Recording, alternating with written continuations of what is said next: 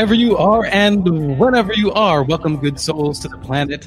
This is Alan B. Smith. Join us as we traverse the cosmic highway of paranormal portals and tantalizing turnoffs, spinning through the cosmos thousands and thousands of miles an hour, and yet it just feels like we're sitting perfectly still. It's odd, and that's what we do on this show. We just talk about odd things that maybe aren't so odd after all. Maybe the supernatural is, is just that super cool and it's natural. And we have a lot to talk about tonight. My guest, Tui Snider, um, she's been on before. Uh, you may be familiar with Tui's work. And uh, I'm very lucky that tonight I have two hours with Tui, um, and I'm going to ask her about absolutely everything under the sun and beyond. Um, as a friendly reminder, open lines tonight in the last half an hour. So just call in the Paranormal Radio app. That number is 855 472 5483. The Paranormal Radio app line 85 KGRA live. And of course, you can find us streaming on Facebook, on KGRA or Paranormal Radio, and on Twitter at paranormal underscore. Now you can find out updates for future shows. Um, and of course, you can go to Instagram as well at paranormal now. Um, as I mentioned before, I won't be posting quite as much on YouTube as I have in the past. Um, I will be occasionally posting on uh, IGTV, and uh, it's all for a good purpose. I hope. Um, I just had a f- my first um, conversation with someone who is going to be part of this new project that I'm working on, and so it's the first step. I'm excited. It was successful. Um, I suspect I'll be able to give you more news about it in approximately three months. I just don't want to jump the gun, um, but I don't mind teasing you here about it right now. Um, in the news, there's something really interesting things going on. I don't know if you've heard, but uh, a Russian cosmonaut had captured possible UFO footage from the International Space Station. Uh, and the astronaut is Ivan Vagner. And uh, yeah, so if you go online and check this out, it, it looks like as they're, they're, rotating over the Earth, um, the aurora borealis is there, and then you see a series of like four or five lights kind of come in at, and out. Um, I personally think that it's probably a reflection of the window, right? That he's peering out of. Maybe someone in the background, another astronaut was doing something we don't know. It's difficult to tell. It is intriguing. What I do know is that there actually is really fascinating NASA caught footage of what look like UFOs. And I've heard a number of explanations uh, for them. Uh, and there's a couple of videos that I'm just not convinced that the conventional explanations um, explain it away. So I think we'll keep our eyes on this story. It may turn out to be nothing more than a reflection, but um, what if, right? What if? Also, um, interstellar visitor Oumuamua uh, could still be alien technology. New study hints, and this is by uh, Live Science. A mysterious interstellar object that crashed through our solar system two years ago might in fact be alien technology. That's because an alternative, non alien explanation might be fatally flawed, as a new study argues. But most scientists think the idea that we spotted alien technology in our solar system is a long shot. In 2018, a solar system r- ran into an object, our solar system ran into an object lost in interstellar space. I'm not sure who lost, us or the object. Uh, the object, uh, Oumuamua, seemed to be long and thin, cigar shaped, if you remember that, and tumbling end over end. Then, close observation showed it was accelerating, as if something were pushing on it. Scientists still aren't sure why. One explanation the object was propelled by an alien machine, uh, such as a light sail, a wide millimeter thin machine that accelerates and pushed by solar radiation. Uh, the main proponent of this argument was Avi Loeb of Harvard University, uh, astrophysicist. And um, so, yeah, it came to be that they thought they could explain away this object. Um, and once again, it rears its head. And uh, I have to wonder, I have to wonder, if um, if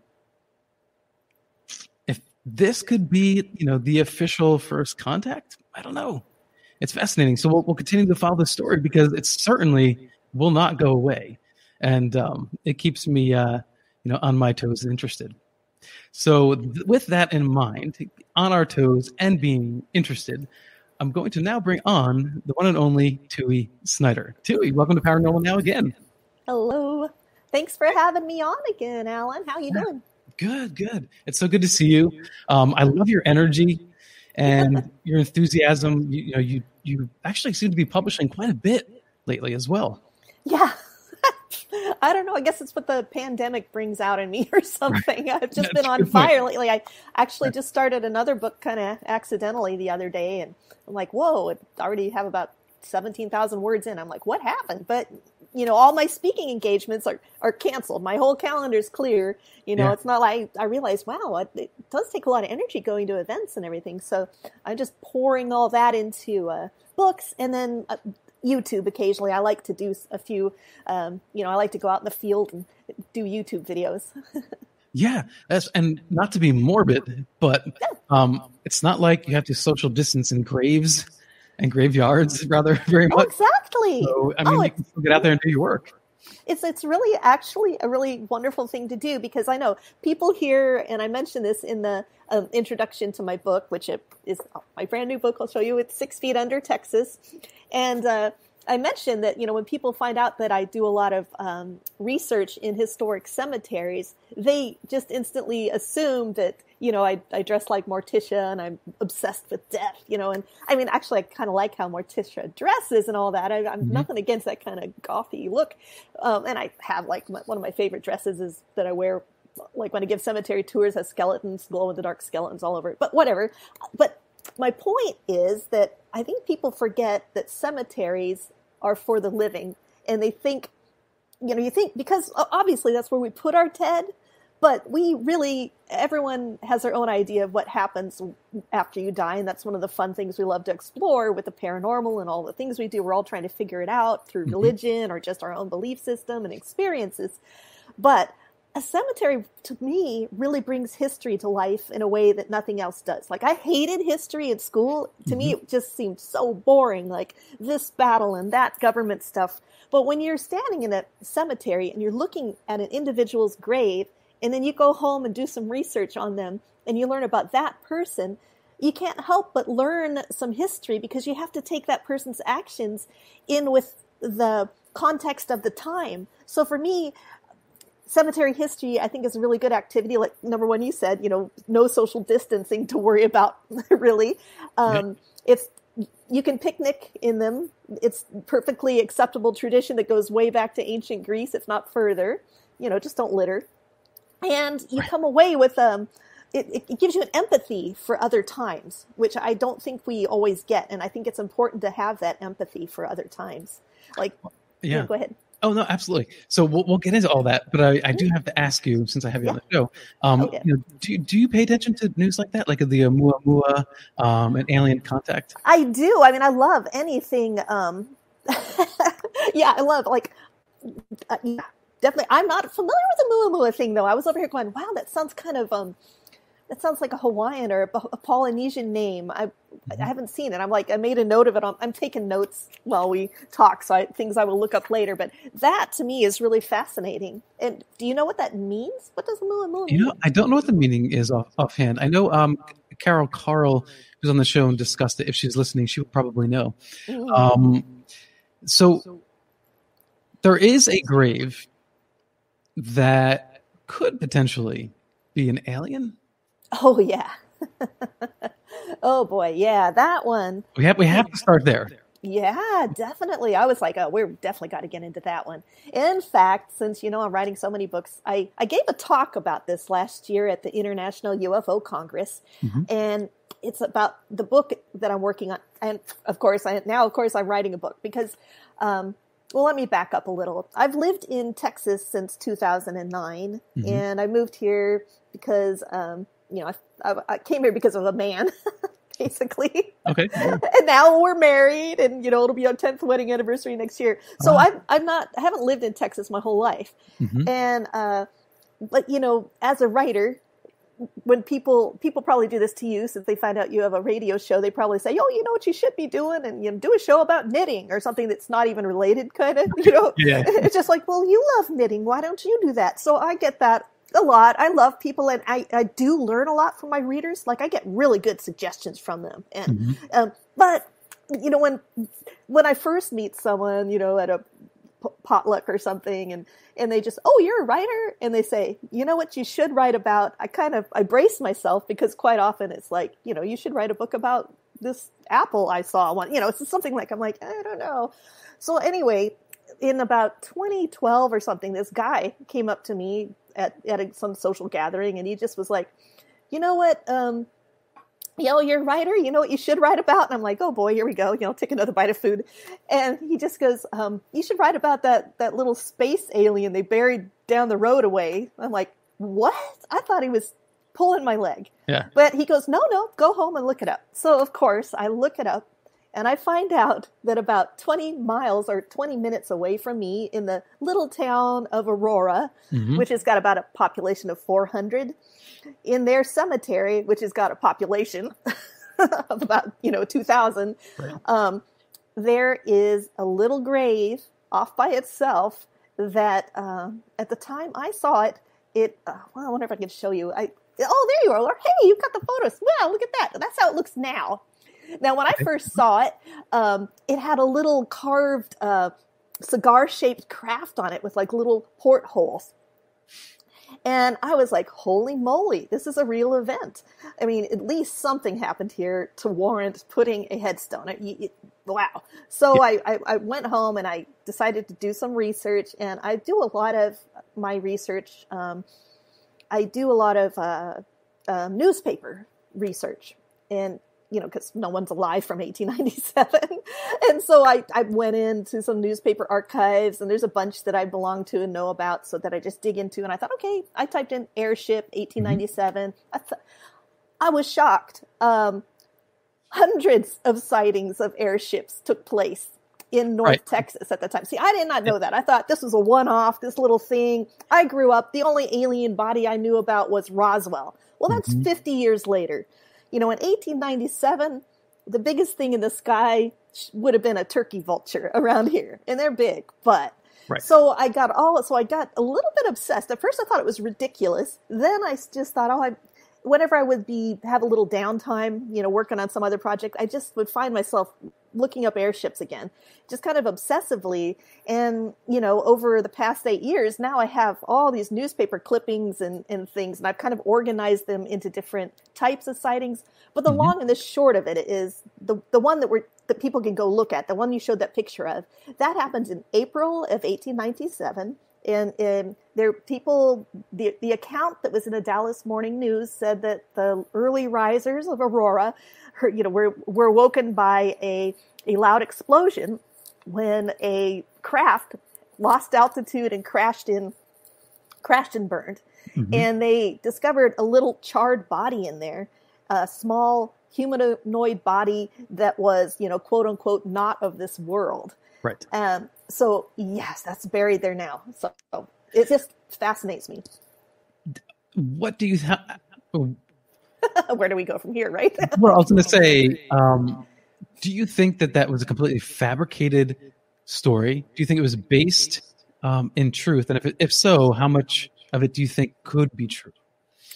you know, it, I've I've been all over the map on how I feel about this, and I've kind of gotten to the point where my goal is just I'm really fascinated with uh, thinking what it would be like to be in 1897 because some of the accounts I've read, you know, some of them they're obviously making fun of it. Some of them are just totally ridiculous hoaxes, you know.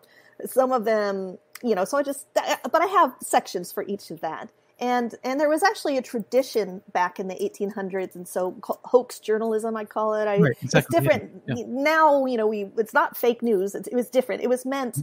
to be entertaining. And and and they would just your newspaper, we didn't have all these different news sources. You didn't like have Mad Magazine or, you know, and, and like Time Magazine and Newsweek. And, you know, you, you know what you're getting with Cosmopolitan or something. You're getting a different type of news with each of those. You know, the, if you go to the store and you grab the Inquirer, you're kind of not expecting the same uh, type of reportage as you would from the New York Times or something. Um, but back then, it, everything was smashed into the, just the local paper. So they would occasionally run these stories that would just get more and more outlandish.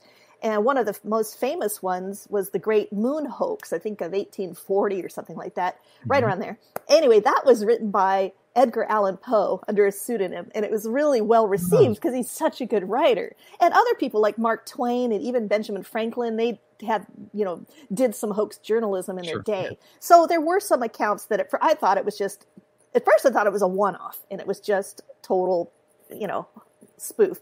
But then mm-hmm. I just started gathering more and more, and but some of the accounts I've gathered, um, they really sound like someone trying to describe something that they saw that didn't make sense, but in the terms of 1897. Like, um, right. and there was the same fears that we have today. If you see something, you're afraid people are going to make fun of you.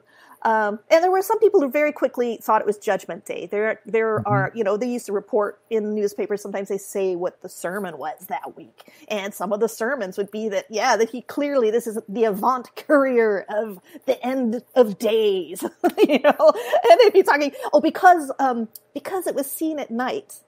Yeah, because most of the sightings were at night, mm-hmm. the ministers thought, oh, this means it must be the devil. so it's interesting to me what really fascinates really? me is mm-hmm, the conclusions they made from their that were based on their time because we're yeah. always all of us are steeped in our time and me in 2020 i've seen so many movies and i've t- mm-hmm. ingested mm-hmm. so much stuff but like in 1897 there was one account where a guy farmer was out tending his animals you know doing his chores and he thought he heard a great big bees swarm of bees coming and then he saw the great black. Oh, hi, Anton, Tony, hi.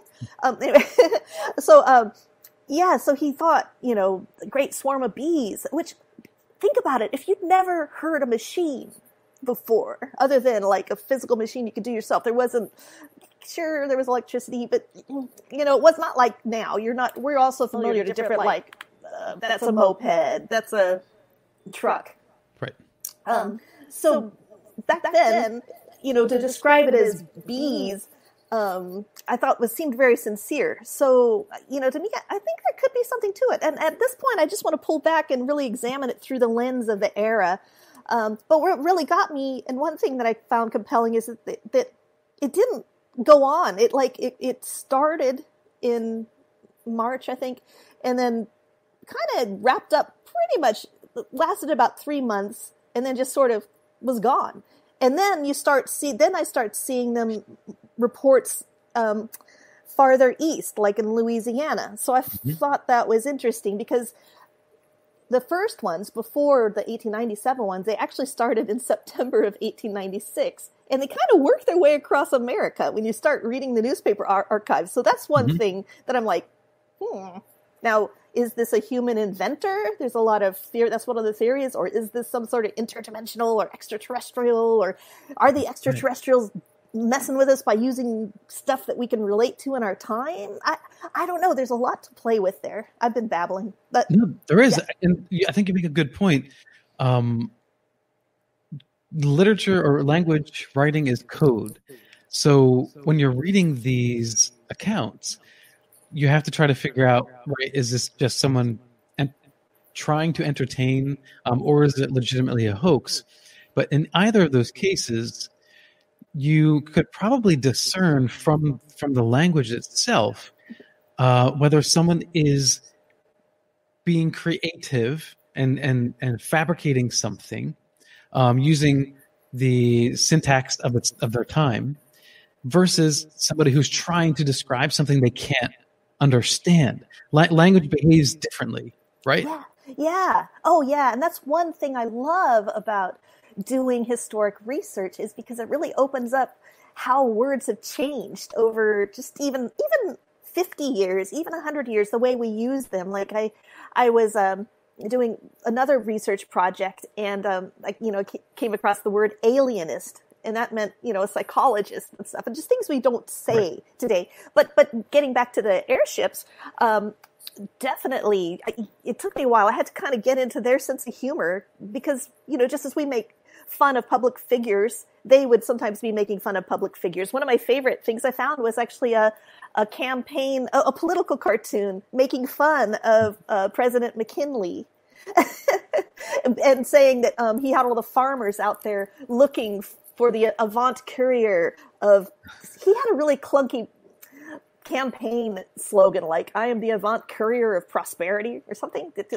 we would not do such a clunky right, right. thing yeah. now, but back then, and so they were making fun of it, and they showed the the airship and all these farmers looking up for it. So it was kind of funny. all right. Uh, well, we're going to go to our first break here, Tui. Um, when we come back on the other side, you know, I, I want to find out from you. You know, have you have you ever had any odd occurrences since you're spending so much time uh, near graves and in graveyards, and even just researching? Um, one wonders, you know, do you sort of open yourself up to certain experiences? This is Alan B. Smith for Paranormal Now on KGRA Radio. Hang in, everybody. We'll be right back with Tui Snider on the flip side.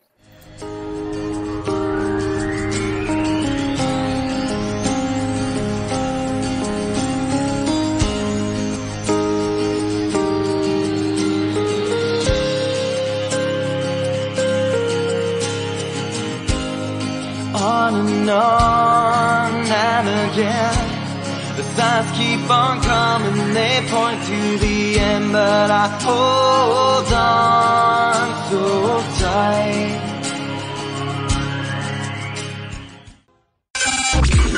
Mainstream media's most wanted. KGRAradio.com. Lost in a bad way. I've gotta let you go.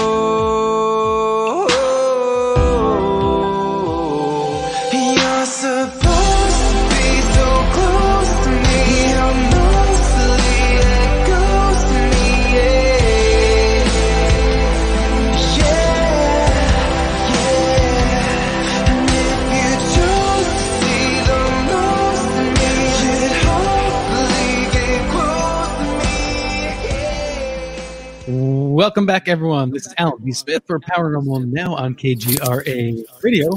And Tui Snider is jumping back in with us. I literally saw her jumping back in.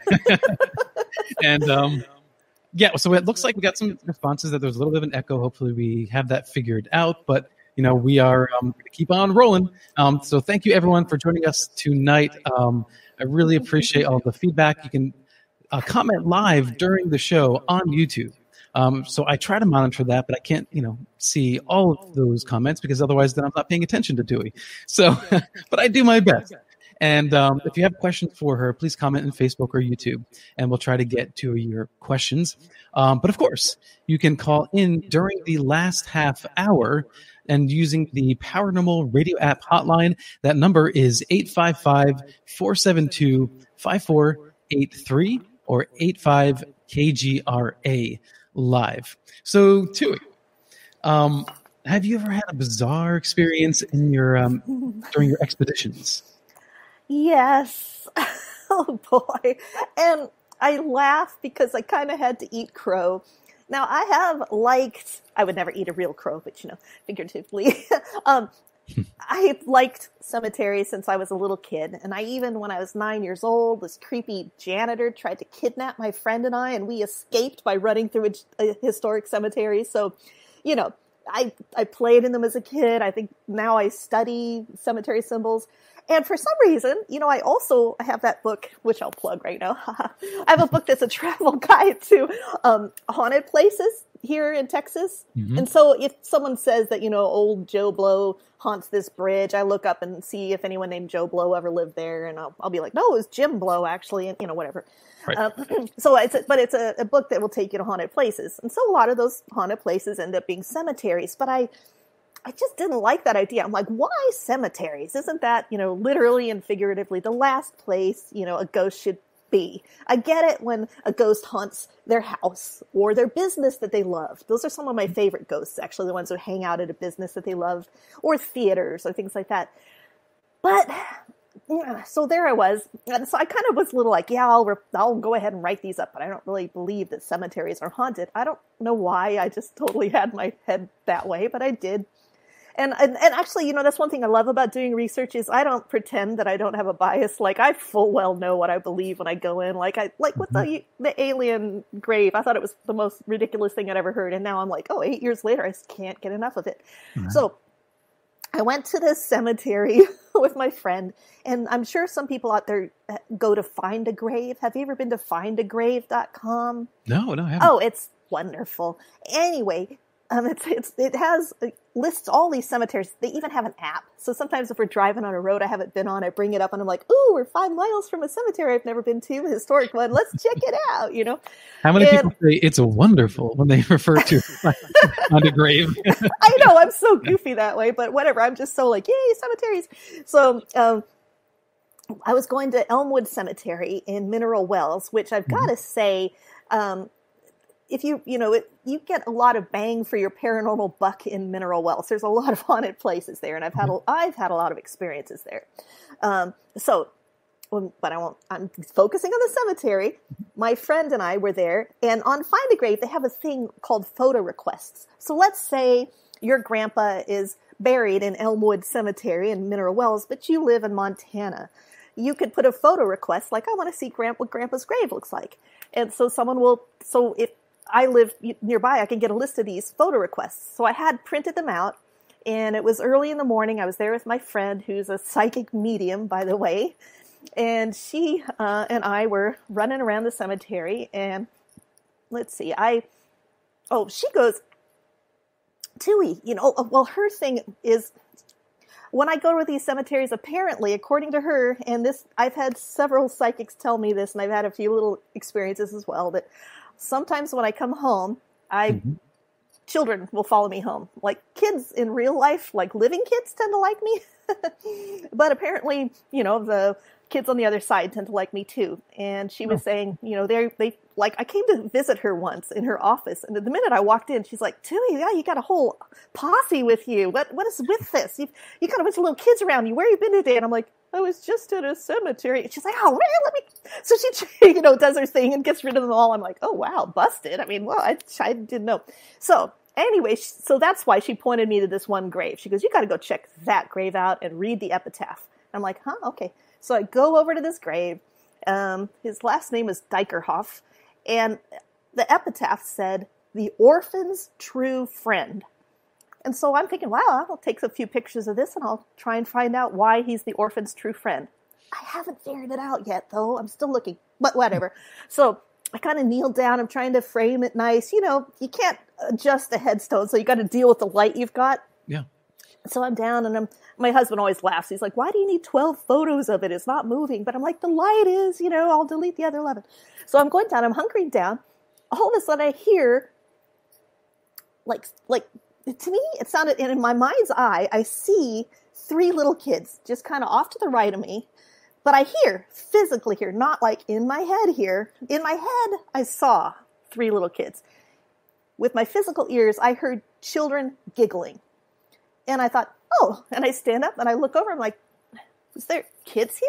Yeah, yeah. And I run over to the bush where it came from and I look all around. I'm like, is there a school nearby? Is there something? It's not. I'm in the center of the thing. And I realize, and to confirm, like, all the, it's and it's like 95 degrees too right and all the hairs on my arm and are just standing up and i'm like whoa so you know i would like to go back there maybe and you have a uh, you know get try and get evps or something but i heard that i mean so there you go i kind of had to admit that all right i guess now i now I'm, i've made peace with it i'm like yeah you know cemeteries and i have a theory as to why cemeteries are haunted if you want to hear it I will. Yeah, absolutely. well, I started to notice that cemeteries, bookstores, and libraries are quite often haunted.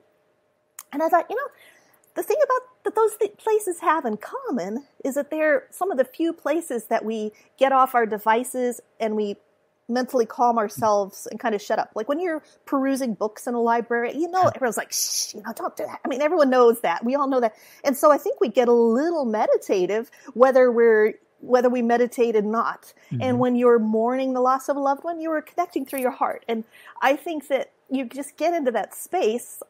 Um, I think that's why. That's just. I think a lot of other places are equally haunted. We just don't shut up enough to hear it. I think. I see. I think we miss so much. So basically, it would be like collectively, over time, all of these people in this space are um, kind of tuning the frequency of that space to be something that's Maybe. more meditative or grounded or or um, heart centered. Yeah, well, I think we we slowed down enough. Like it's like my favorite now. I have my favorite type of paranormal video on, on YouTube. Like since the lockdown, you know, Yeah. I've I've had a little more time to look, and I realized, oh, the ones I love are the ones where, you know, they would have missed it if they hadn't been. They weren't looking for ghosts. They're like, here, I'm going to show you the perfect way to chop an orange, and it's someone in their kitchen and they're chopping an orange, and then suddenly all their cupboards fly open, Right, or like a shadow walks by, and they're like, what? And nothing else on their channel relates to ghosts, you know, and they're just like, I don't know what that was all about. But it made me think, like, how many things. I mean, so many things in our life. I'm sure there's times when I'm too wrapped up in my head, and maybe something just goes right by me, and it's like, you know, trying to get my attention. Actually, you were saying like tuning. You know what it, it, it reminds me of? It reminds me of like fish in an aquarium. Um, do you have an aquarium? Uh, no, I, I, I had I had a little little aquarium when I was a kid. Yeah, Oh, okay. Well, I have an aquarium. It's just to the right of me. I don't know if you can see it. can you see? There's my aquarium. oh yeah, yeah, yeah. yeah, yeah. Anyway, I have all sorts of little critters in there, crabs and everything. But um, for the most part, the fish don't really pay much attention to me, except for the betta fish. Now, if anyone out there has a betta fish, and to me, like it makes it seem like betta fish, they're aware of life outside the aquarium, and Uh-huh. they actually care. They actually look at me. And I think sometimes I feel like maybe when I'm going through my life, I'm like a fish in an aquarium, and maybe my higher self or oversoul or deceased loved one is trying to get a hold of me, and it's like tapping on the glass, like Yeah, you know. And I'm just, do huh, did you hear something? Eh, keep going. How frustrating. Maybe that's, I don't know. To me, sometimes it seems like a good metaphor for all that. Oh, so do you think that uh, spirits on either side then would be frustrated with us? I think so. what is wrong with you? Why can't you hear us? Come on now. Yeah, I would think so. Like maybe, probably with how people interpret EVPs sometimes, you know?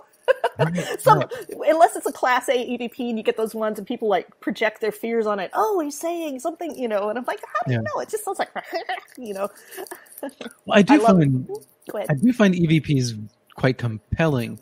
Yeah, oh, I do too. You know, I love them. A decent EVP is, you know, clearly as a person speaking, Yeah. um, but there's a lot of, I think, uh, interpretation, loose interpretation. Um, people kind of just hear what they want to hear. Oh, for sure. We, you know, when a voice is garbled, you can kind of it's like form pareidolia of the pareidolia, ear. but of auditorial. Auditor- Mhm. Yes, exactly. Well, did you? Did I ever tell you about that doppelganger one I had? Did I or, or not? I don't recall. Did you? Well, I, I had one. This was really weird for me because um, I was at the Old Park Hotel in, in West Texas, and it was so lively. Like I was with uh, two paranormal teams that were really good paranormal teams, and they were setting up all their equipment. And it, you know, it's the type of team where they were going to take an hour before we could do anything. So I was just staying out of their way, and stuff was happening. Like there was a locked front door. We heard it open, and someone call out a name, and they just go, "Hey, Tui, could you go see who that is?" Not thinking it's paranormal. I go, nobody's there. It's locked. I'm like, whoa. So I went up and I just sat in a spot where I'd be out of everybody's way. And I thought I'll just do a little EVP session. And I had my little recorder. And I, I said something like, um, I just wondered if there was anybody, if I had any company up here with me, something like that. And then I counted to 10 in my head. And I was asking questions like that, one after the other. And so when I said that one, like I just wondered if I had any company up here with me, and I'm counting to 10, my friend Greg down below goes, Tui, are you singing? I go, no. And I know I have kind of a, you know, my voice is all over the place. I've got kind of a sing song voice. So I just discounted it like whatever. Meanwhile, I didn't know that one of the, um, my friend Becky had put a, a tape recorder down next to me. And on hers, when I go, I just wondered if I had any company up here with me, you then hear my voice on her recording. It sounds exactly like me, Right. and and I, it goes like do do do do do do do do. Meanwhile, on my recording, you hear me go, "Do you have any company up here?" Silence, and then Greg. You know, on hers, you hear Greg. Were you just singing? So it was weird because it sounded exactly like me. The mimicry got me. I don't know what that was, um, and yeah. So So is that them reaching into our world, manipulating us? I don't know. I, it was either somebody manipulating me, or the funny thing was, I mentioned it to my husband, and my husband does not believe in ghosts at all. He's really well versed in string theory and quantum mechanics, and you know all the sci-fi. He's kind of like Spock, you know. But when it comes to anything woo-woo, which is kind of nice for me because I'm always having the woo-woo stuff happen, and he's just like, "What?" so I don't know. It balances out somehow, but um, you know, I mentioned it to him and I played him both, and he just goes, "Well, maybe that was another your counterpart from the multiverse popping in to say hi." I'm like, "What? That came out of you? You're usually saying, "Yeah, it was nothing," but it was unmistakably me. that was what was weird. It was, it didn't, yeah, that was, or like someone imitating me perfectly. Which, oh, and then later they saw me. Like, um, I, I don't know what the deal was at that place. Um, I'm sitting in a dark room, you know, as you do on these things sometimes, because there's a lot of downtime on a paranormal. Um, And, and a dark room is always so much better. yeah, I mean, it was like two in the morning. We were all winding down. All of a sudden, it was Greg again. He goes, "Tui, where you at?" And I'm like, "I'm over here." And he goes, "Wow," because I just saw you in the doorway, like go by. And this is on tape again. And when I was listening back to all my tape, and I realized, and he described this. He said, "Yeah, I was wearing a little straw hat. I usually wear hats." And um, he goes, "Look just like you, maybe a little shorter." And I'm like, "That is so weird." So like, I'm glad we recorded it because I would not have. I didn't give it that any. I don't know. It was just very strange to me. I don't know what to make of it. Yeah, I, I don't know what to make of it either. Do you? Where, where, where do you stand spiritually or, or religiously? Do you think there is an, an afterlife? Um, where do I stand? Let's see. You know, I'm actually just been lately kind of collating all the weird things that have happened to me because I where I stand is that I definitively to, to me I am thoroughly convinced that what we're taught is you know the consensus reality and Sure. what is supposed to be experiencing and what is normal.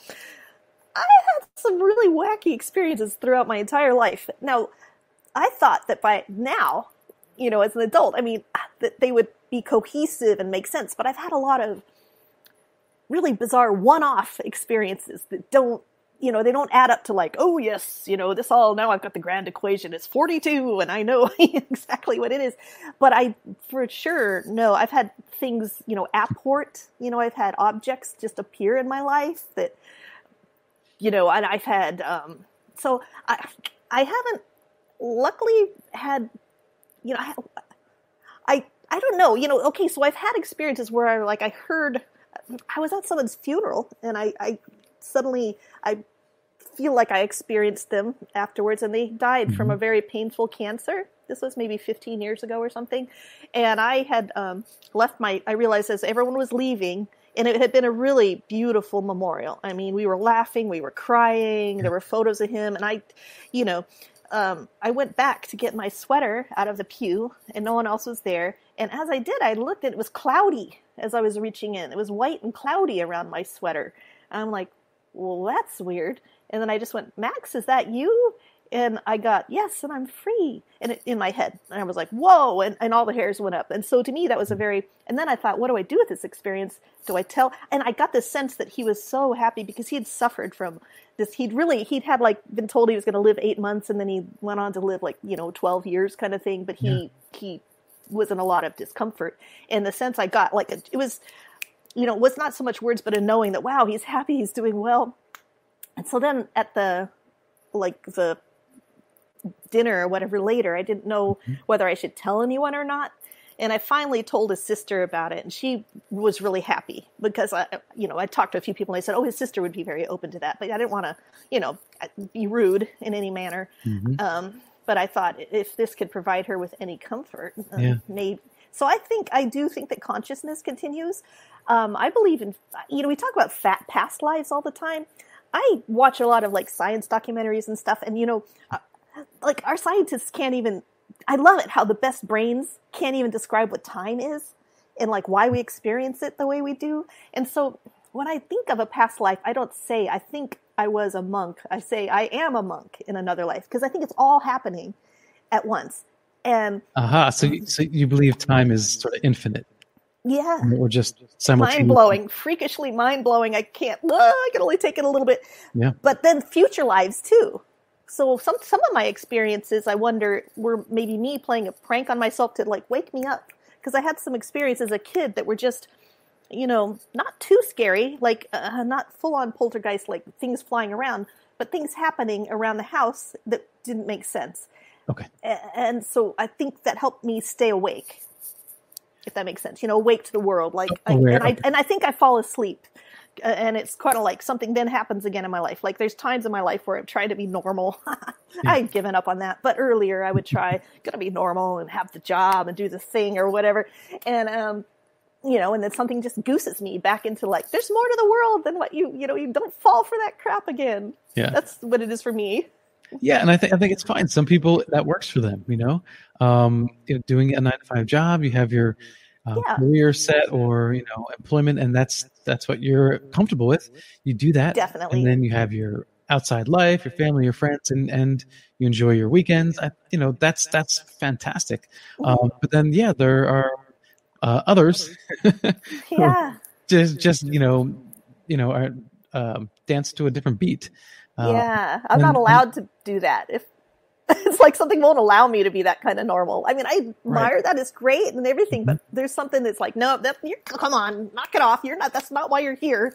You know, Yeah, but you've embraced it, and you're, Yeah. comfortable with it, right? I am. Although sometimes I wish I could make more sense out of it. But in a way, I'm I, in a way. There's a part of me that goes, "Oh, making sense out of it is somehow missing the point as well." Yeah. If you know, just in just stay open. I guess it's, it's you can't pin it down. All right, I have to ask you about this the Great Oh. Hanging Site. What is that about? Oh boy, yeah. So, um, in 1862, uh, it, the, the governor of Texas said that uh, everyone, all men 18 to 35, had to join the Confederacy and serve. There were a few ways to get out of it. I think you could pay your way out of it if you had uh, were a school teacher and had enough students, um, things like that. But um, you, you know, not everybody. This is one of those things where I think um, okay, I've got a couple things to say. When you study historic cemeteries, you can't help but learn in America, you can't help but learn about the Civil War.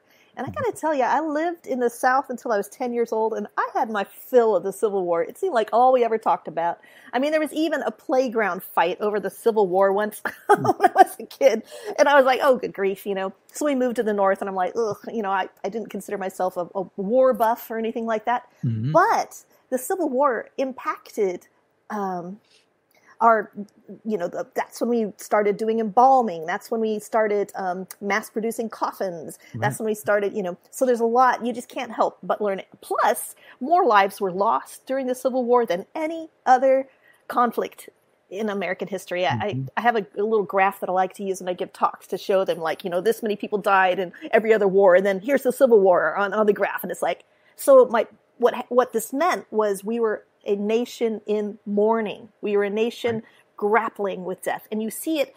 Um, our our attitude toward death really changed too. Like we went from being like you know it's you're going to heaven or hell doesn't matter what you do it's been figured out to much softer people needed some comfort everybody had lost a, a dear one so anyway and another thing too is people just automatically assume that all the southern states just wanted, you know, okay, we're going to secede from the Union. Well, Texas was a little different.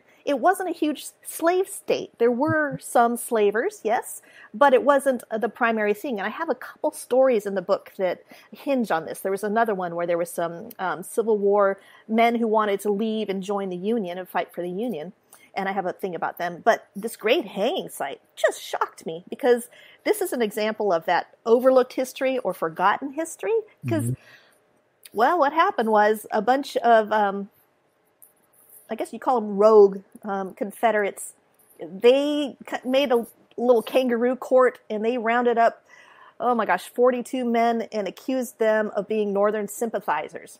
Well, actually, they kind of wanted, it was, they wanted their land it wasn't really, you know, it's very sketchy. It, there's a lot more to it, and I'm totally simplifying it. And even in the book, I don't go into, you know, all of these 50 chapters are just little samples. Some of them have had books written about them. This one has had books written about it, this whole Great Hanging thing. But what got me was this was the biggest mass lynching in American history, and it happened in Gainesville, Texas in 1862. Um, 42 people. Yeah, it was a big elm tree, and I've got an illustration too in my book where just all these bodies. They would hang two or three men each night until there were like 42 men, I think, hung. A couple were shot as they tried to escape. Yeah, It was yeah. just a horrible, you know, no one's proud of this. And see, that's the thing. When something really horrible happens in your town, there's mm-hmm. an urge to disown it and pretend that that didn't happen. Hmm And sometimes when I try to talk to local historians about certain things, especially lynchings, can be very touchy. I've, I've tried to speak to um, over in Eastland. There was the lynching of the Santa Claus bank robber, and the local historians wouldn't talk to me about it. But luckily, their local sheriff would, and he was a bit of a historian himself. So anyway, getting back to that, it's this horrible chapter in American history, but it really shows the need for real courts and law and justice and not taking the law in your own hands. I mean, so that's why I think it's important. I think that's one reason this book is timely. I think that's what makes history timely is when you learn actual stories, even the yucky stuff that we, you know, if I lived in Gainesville, I wouldn't be going, you know, I'd take my friends there, but I mean, it's not like you're, you're proud of it. It's just that let's acknowledge that this happened and let's examine why and make sure this type of thing doesn't happen again. But it's been a very um, locally uh, cel- celebrating, uh, you know, that's the wrong word, memorializing it has been very touchy subject, even now. They try Yeah, to, and, think- you know, Yeah, it's interesting because uh, you don't want to sweep history under the rug, uh, um, um, nor do you want to celebrate, you know, the wrong thing. And there's like, no. there's a lot of back and forth with that, you know, especially now in our nation. And Yeah. you know, having a conversation uh, with someone who uh, is from the South, and, and I'm from New Jersey, and I live in New York now. Um, the way we talked about the Civil War was was clearly quite different than than the way it was taught and um, That conversed is nuanced.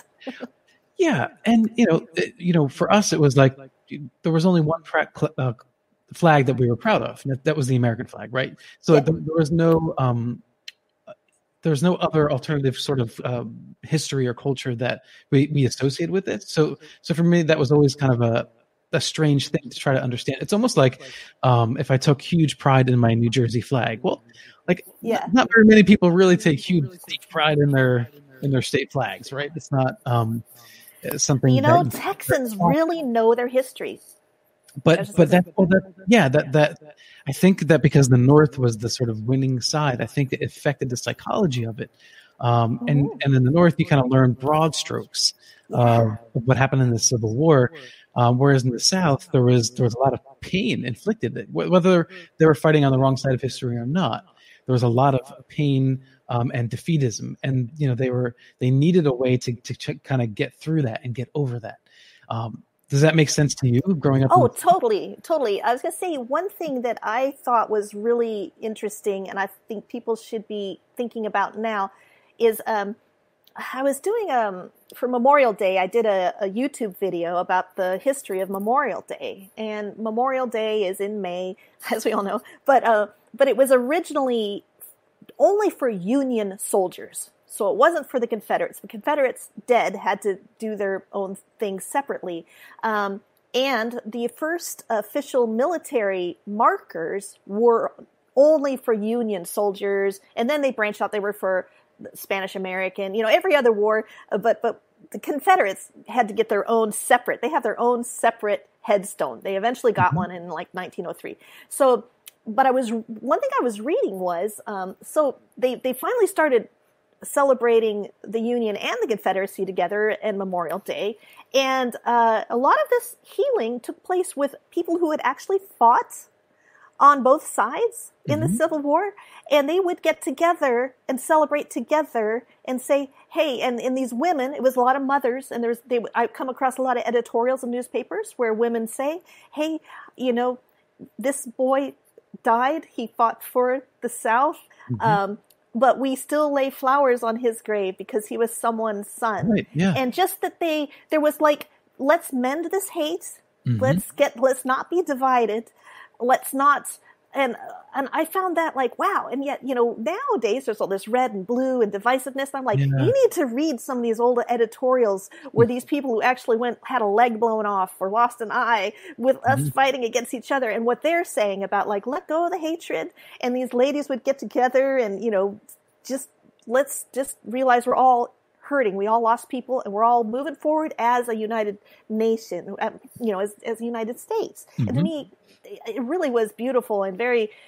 I don't know if anyone wants to see that. I, it was a really interesting one. It was uh, on my YouTube channel, and I, I really did a lot of research on it, and I thought it was very um, Yeah.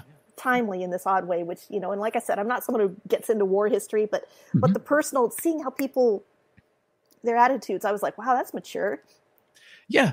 Um, I, I tend to find that, you know, when people try to listen to what the other side has to say, um, instead of just digging their heels in, you know, conversation can move forward. Um, and it can be much more healing. Uh, You know, Oh, I Oh, just go had a ahead. thought. I Mhm. was just going to say, you know, I often say that cemeteries, historic cemeteries, are Mhm. open air museums. right, And right. I kind of think all those Civil War statues and things that they're tumbling down, put them in a section of a cemetery because some of them are are in cemeteries. I mean, when I am in a cemetery and I Mhm. see a Confederate flag on someone's grave who fought in the Civil War, I don't. I feel like okay, you're just telling me something. You're not. It's not racist. It's not. It's not. It's from. The, that's their battle flag that they fought under. You know. I, I kind of get it. it. It's historical context. You know, when I see it on someone's truck, just modern, I'm like, meh. Why are you doing that? But in the in the different, right. cemetery, I feel like the cemetery, like once again, it's that kind of history we don't want to sweep under a rug. So put Mhm. all the statues there and have some placards that are up, you know, that are zinc placards or whatever that will stand up and people can read like this, you know, this is what this was and this Yeah, is what that was. So we could go and because you're in that frame of, oh, this is the past. You know, I'm I'm here to learn about the past. I'm not Yeah, well, context matters as well. Um, again, Yeah. you know, growing up in New Jersey, if if you had a Confederate flag hanging in the back of your truck, that only meant one thing. It wasn't Southern pride. yeah. But you go down south, it means something different. Mhm. Um, and I think that's where this this um, discord and dysfunction of conversation, you know, comes to a head and it just breaks down completely. Mhm. Um, but yes, you can't forget history. Uh, No. you, know, you shouldn't But tear. we can, but we shouldn't. but we shouldn't. Right, Yeah. right. Um, but it's it's very fascinating that I, I, I think that graveyards are, um, like you said, almost like museums, and They really are. They preserve history in ways that um, you know perhaps you know a, a township or a county or a state may have forgotten uh, to honor. Um, Mm-hmm.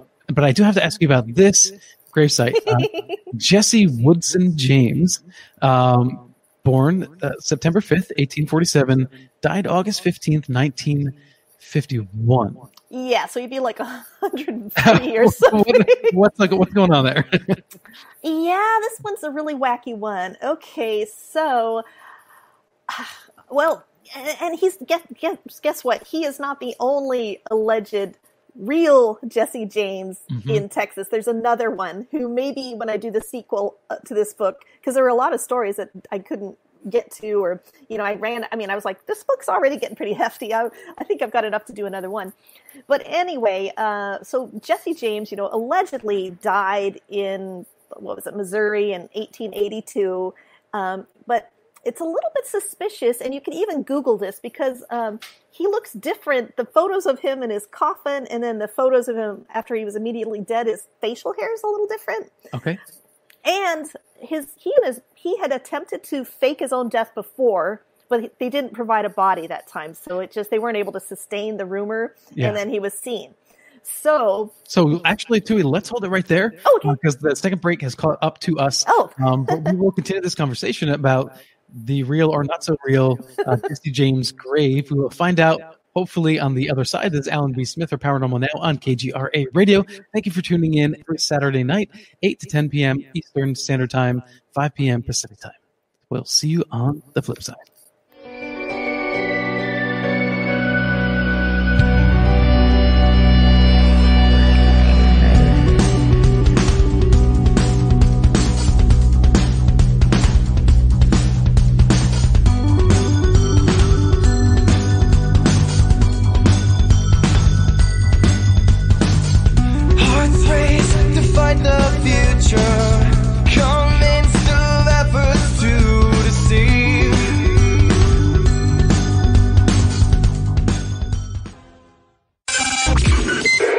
Mainstream media's most wanted. KGRARadio.com. Try to capture how I feel and tell you the truth, but there's too much to be said, so I just leave you small clues. But now I'm bearing my soul, and my soul loves you.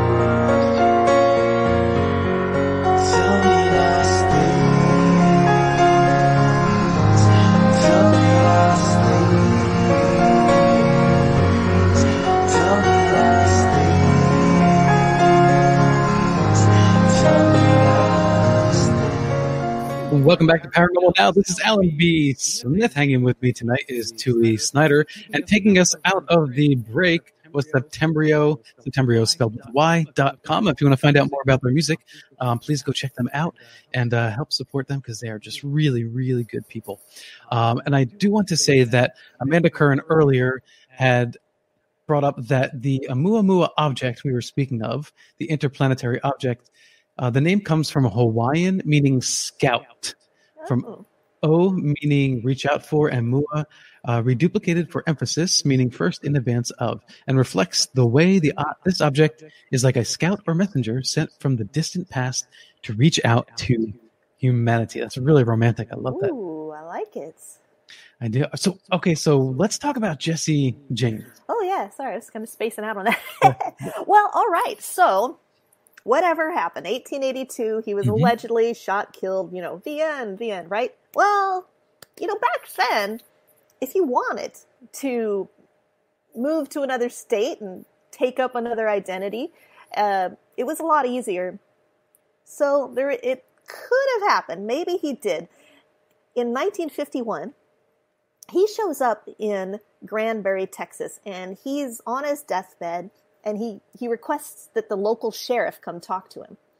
And and so the local sheriff um, came and spoke spoke to him over a period of nine days, and he listened to his you know deathbed confessions, and he really um, he claimed to be you know he was going by another name, but he said, "Hey, I really am Jesse Woodson James."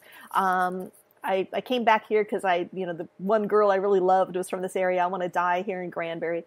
And he gave the sheriff his spurs and his handcuffs, his favorite necktie, stuff like this.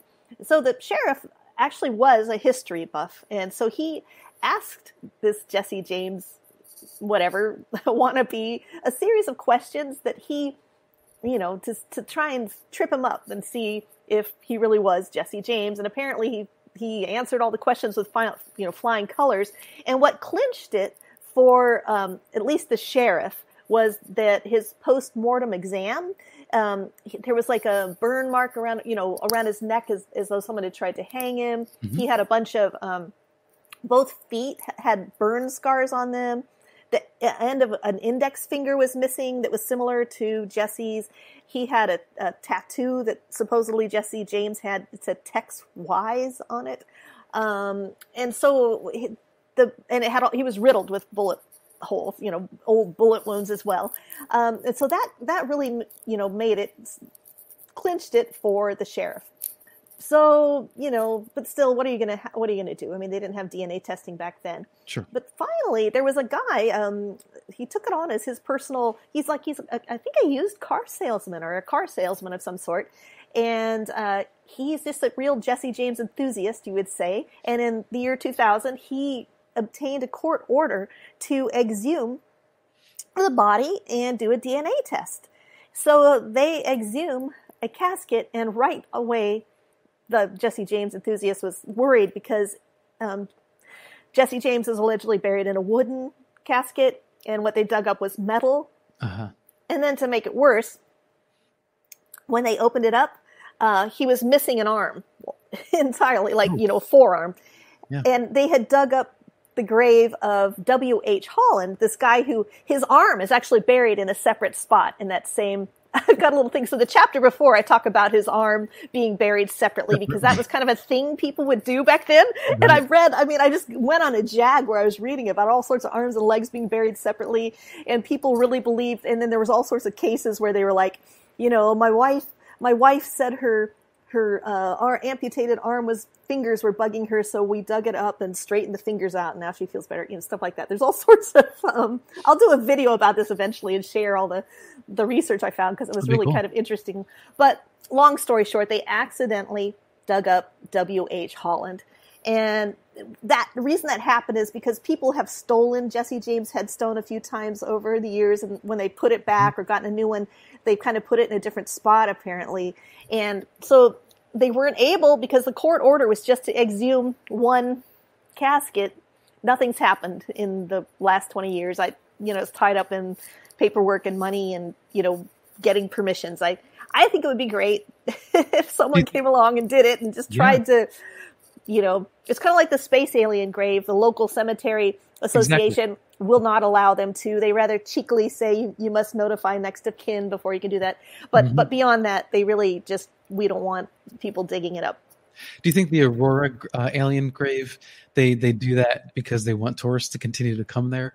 Um, No, I, they don't want tourists. Well, they Oh, did they for the longest time, and like Oh, okay. Mm-hmm. even when I first started researching it, locals didn't want to talk about it. But now, um, when you drive through town, which takes about five seconds, um, right when you get into town, the "Welcome to Aurora" sign is like a crashed disc and a little alien. It is so cool, and now it says like a yeah. They've gotten into it now. Locals will talk about it more, but for a while there, it was kind of like it was hard to get much out of people. Well, look, if if going back to that story, if the Aurora UFO crash was a fabricated story, why would you bury something? That's the thing. And it um yeah it was the day before easter and i don't I haven't been able to find an actual account of the funeral but you know the, the crash happened the day before easter. They buried it the next day.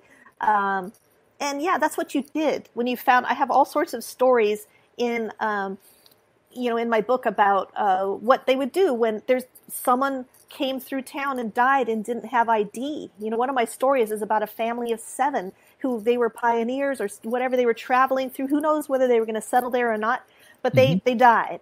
And I, I kind of go into detail into what happened because um, they don't know. Like maybe they had food poisoning or something. They died before anyone even got to say hi to them and really get to know them. So this family of seven, and so the locals, the women sewed them new dresses and outfits so they wouldn't have to be buried in their death clothes. That's something you come across a lot. And um, and then the the locals they built coffins for them and they just they buried them. What you do, you know, you give them a decent burial. That's just the thing. So to me, that was another thing because Aurora, the town of Aurora, had gone through a lot. They'd had a plague that went through that. Uh, that if you survived it, you might be partially paralyzed or blind. Which back then, wow, I mean, it's hard enough to get around these days if, with an infirmity, but imagine trying to make it, you know, when, Yeah. back then. Um, and so they they just were like, we don't know what this thing is, we're burying it. So to me, that seemed realistic because I've I've read people or I've had people say, well, why didn't they donate it to science? Why didn't they dissect it? Nobody was doing that back then. You didn't do that to bodies. I mean, that's why we had body snatchers all throughout America back then. For scientists, Yeah, the Right. resurrectionists they call them, and I've I've Yeah. read some really damn creepy accounts of what they did, but that's what they had to do because there was a stigma against it. You were either a criminal, you know, criminals sometimes would be dissected, but these Mm-hmm. medical colleges needed those bodies, and that's a whole other thing that I've looked into before. It's interesting. yeah. we're, what happens if you get caught stealing a body for medical purposes back then? You know, I'm not sure. Um, I don't know. I don't. I mean, you know, there would be some sort of you, you go to jail for it, but you know, I haven't really looked into that. I have looked. What I have read about are riots. Um, the one really, the one that really gave me nightmares was um, there was. Oh, this is so creepy. Okay, so this guy, his daughter died, and he heard a rumor uh, that um, she had been donated to that her, you know, donated to a, a college nearby, and and so he and his buddies went to that college, and he saw and recognized her hand, um, and so they came back and like you know burnt had a big riot and burnt the college. Um, and there were at least 17 different college riot, you know, riots and, and violence where people would, would find that someone had been taken. And there were a lot of countermeasures that they took. So, you know, back then people really thought you were going to be judgment day. You're going to need all your pieces. I mean, so that, this is a roundabout way of saying that I, it just makes sense in the mentality of 1897 to just oh we don't know what this is doesn't matter we're giving it a good christian burial because that's what you do when, with an unidentified thing that comes through town Do you think that From if wherever. they- do you think if they bur- uh, dug up the grave of this Jesse James, that it would be definitive proof? Would it would it be worth doing uh, Well- exhuming the grave? I think it would that I really think would be worthwhile because there are uh, relatives with DNA that they can compare it to. I mean, although it's a little crazy, he would have to be awfully old. but maybe they do dig up the other one that's in the other town, which I haven't gotten to go see yet. I haven't I haven't looked into. Yeah, No, I, I don't know how long does is is DNA stable where you can Oh, compare. that's a good point. Yeah, yeah. I'm not sure. I mean, I know that hair takes an awfully long time to to decay. I mean, they can dig, Mm-hmm. you know, dig up p- people and tell like, oh, they died from arsenic, or they were, or they were taking morphine. You know, you can tell Right. a lot of people from people's hair, a lot of things from people's hair. So yeah, It I don't know. be- I don't It know. depend on the the environment that it's it's buried in. That's Um, true. I, I know that they've been able to extract soft tissue from some dinosaur bones. Oh yeah. Um, I haven't heard much of that lately, but I would say I Mhm. think that that came out about four or five years ago. Um, Oh. There was a, a scientist that she she was able to do this. She she actually asked the question that nobody asked thought to ask. Oh yeah, yeah. and She was great. Cut, she cut into the bones and was like, and, Yeah. and you know, pulled some material out and was like, oh my gosh. And they didn't take her seriously because she was female, like as I recall. They gave her a little bit. She had to fight against that a little bit. Anyway, Oh, I don't I don't know about that, it's a I, different I do gal. I, oh, I was I was just like, wow. No, it might have know? it might have been. I just remember seeing. Uh, I think it was like a PBS special, or and then it started getting traction um, and articles online. Um, but yeah, I mean, I wouldn't be surprised if people were like, "Uh, really?" Uh, but yeah, Well, scientists in general, I admire the advancements because I, I watch a lot of documentaries about Mhm. scientists and physicists and you know people who are really trying to stretch the boundaries of our belief system and Yes, and yeah. then you see what they go through you know they are ridiculed by their peers i was reading about the guy who one of the guys who um you know came up with string theory and he went to tell his um gosh i forgot their names now he he was a russian guy and he went to talk to like alan oh i'm blanking on the physics physics i can't even say it now the physicist names Mhm. but anyway he went to tell this other physicist about his theory and and the guy fell asleep while he was he's, he's turning Oh. around from the blackboard the guy's falling asleep but and so he thought oh it must suck well later on it turned out to be i think they toured together and you know learned from each other. But you look at mm-hmm. what people have gone through. They've been imprisoned for saying i think that maybe you know we're going around the sun or you know the like to dare to dare to just put your your ideas out there and just say what you have observed. I, I really do admire that. Yeah. In the paranormal world, scientists do often get sort of a bad rap. Yeah. um, being you know ultra conservative or protected of their work or Mhm. or biased because they need money and funding from universities which are all um, you know legitimate criticisms. But you know i i i have so much respect for for scientists um, who are just trying to do good work. And you know it's it's the same thing that whether it's paranormal or science i find it so all just fascinating. Um, you know if i could live another lifetime i, I, I would have probably and if I could have do math better, I would have gone the route of, of trying to find a job working for something like NASA. Um, you know, whether you know we do have alternative technology that can fly to Mars right now anyway, and, and we've landed there, whatever. yeah I would still want to be a part of sending probes there and hmm being part of that scientific, um, you know, exploration. I'm always amazed by the math they can do and the thought experiments they can do, um, and come up with, you know, that just seem crazy. Like something will, a physicist will start out with just a thought experiment. They're just up in their attic thinking, and then they're doing math, and then you know, they present it to their peers, who then ridicule them because how do we, how do we, um, we need for science we need a replicable study we need to be able to do this and have the same results come over and over and maybe when they come up with this great idea the they don't have the tools to do that yet and sometimes they die before that happens. And then someone else picks up their study and is able to create oh we can there's a study and they prove them right. You know i mean i just oh that kind of thing. That just the power of the imagination. Um, I've got a great imagination, but I'm not making any great discoveries. like that.